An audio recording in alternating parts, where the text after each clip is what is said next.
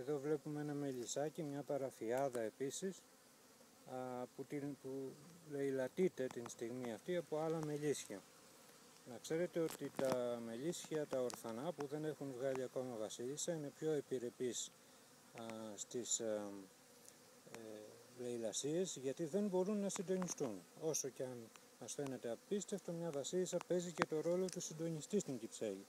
Έτσι ένα αβασίλευτο μελίσι δεν μπορεί να συντονιστεί και κατ' επέκταση δεν μπορεί ε, να φρουρήσει σωστά την είσοδό του με αποτέλεσμα να γίνεται ηλία εύκολη των ε, λαιλατριών. Εδώ έχουμε μικρύνει την είσοδο, έχουμε αφήσει μόνο τρία πορτάκια από το μεταλλικό πορτάκι για να, να, να μπορούν να ελέγχουν καλύτερα οι φρουροί, αλλά και πάλι φαίνεται ότι δεν επαρκεί.